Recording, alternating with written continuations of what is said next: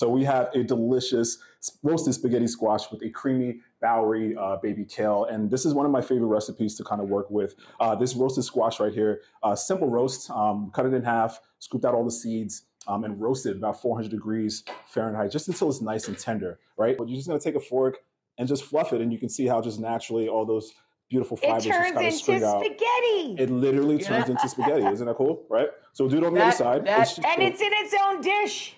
Because it's named spaghetti squash, that makes kids like it more than they would like just plain old squash.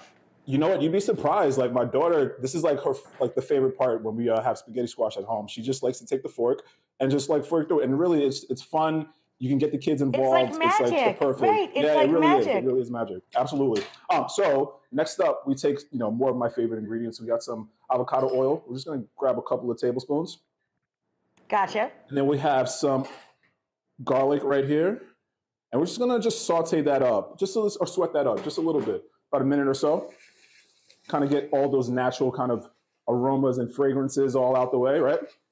Sprinkle just a touch of salt just to help extract a little bit more of that uh, flavor. Just to get a little right of the juice out, right? Absolutely, yeah. And then we'll take some of this beautiful, delicious Bowery baby kale. And we'll just go ahead and add that in there. So we'll go ahead and sweat that out. So we added a little bit of cream cheese. We're adding a little bit of uh, Parmesan Reggiano in there right now. A small touch of salt just to kind of pump up a little bit of that umami. And then we just have a beautiful, creamy, cheesy kale base.